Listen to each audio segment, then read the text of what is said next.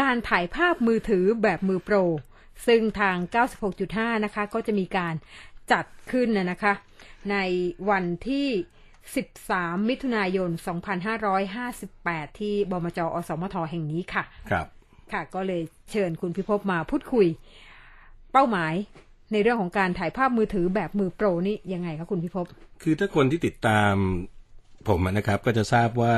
ผมทดลองการใช้มือถือนี่เพื่อถ่ายรายการโทรทัศน์อยู่รายการหนึ่ง ชื่อบันทึกปลายขอบฟ้าอันดามันนะฮะค่ะออกอากาศทางไทย PBS เป็นรายการขนาดยาวครับ ความยาวหนึ่งชั่วโมงค่ะ ซึ่งใช้มือถือ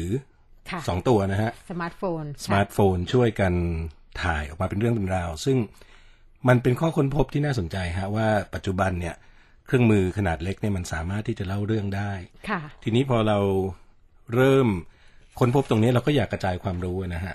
ผมก็เริ่มทำเวิร์กช็อปในที่ต่างๆเผอิญทาง 96.5 ก็ค่ะคิดว่าสำหรับคุณผู้ฟังนะฮะ ที่ติดตามอยู่หลายคนอาจจะอยากคันไม้คันมือลองเข้ามา ทดสอบซิว่าเจ้าเครื่องมือนี้มันสามารถ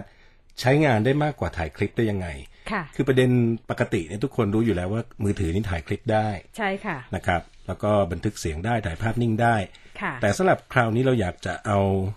คุณสมบัติทั้งหมดเนี่ยนะครับค่ะ มาประมวลร่วมกันนั่นก็คือมีการสอนเรื่องการตัดต่อโดยมือถือนะฮะค่ะไม่ได้ตัดโดย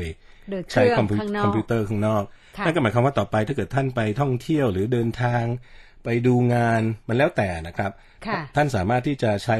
เจ้ามือถือของท่านเนี่ยค่ะบันทึกเรื่องราวแล้วก็ประมวลสังเคราะห์ความรู้อย่างใดอย่างหนึ่ง ผมผมใช้คำดูมันประมวลสังเคราะห์ความรู้อย่างใดอย่างหนึ่ง ครับมันฟังดูหรูหราฮะเพราะว่า ค่ะคลิปเนี่ยมันเป็นเขาเรียกว่าหลักฐานเราอาจจะเห็นคลิปที่เห็นบ่อยๆนะฮะค่ะจะเป็นเรื่องรถชนเรื่องอะไรแบบนั้นค่ะแต่ว่าการใช้มือถือเพื่อการประมวลความรู้นั่นหมายความว่าสมมติเราไปดูงานเศรษฐกิจพอเพียงสักที่หนึ่ง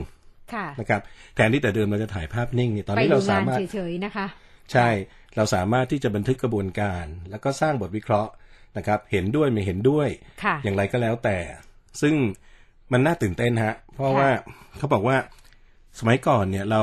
เป็นผู้รับสารแต่ฝ่ายเดียวค่ะนะครับ ตอนนี้เนี่ยเขาบอกว่าเวลาเราซื้อมือถือสมาร์ทโฟนเนี่ย มันค่ะเปรียบเสมือนกับว่าเรานั้นได้หนังสือและแท่นพิมพ์มาด้วยค่ะคุณนานุนึกออกไหมฮะค่ะเพราะฉะนั้นก็ฝากประชาสัมพันธ์นะครับสำหรับคนที่สนใจ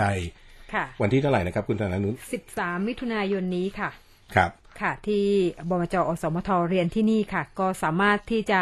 โทรติดต่อเข้ามาได้นะคะ 02-245-1250 หรือว่า